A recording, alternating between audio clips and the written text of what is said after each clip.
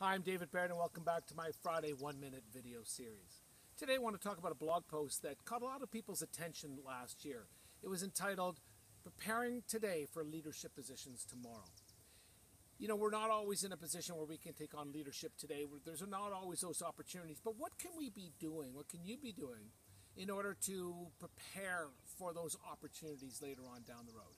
Six items I highlighted, and they are number one, knock your responsibilities out of the park. Everything you do, do it the very best you can. You will be noticed.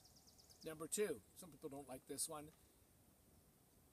Make uh, help your boss. I have to remember that one. Help your boss succeed. You know, just get other people. Make make make champions out of other people. Everyone around you, make them look great. It pays off. It shows leadership.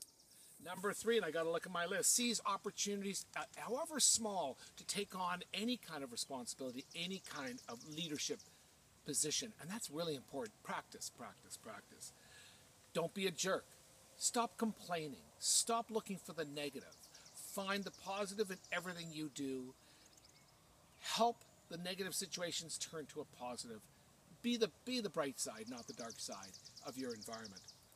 Find a role model. Find people in your life, in your workplace, wherever you are, that you want to be like and follow them.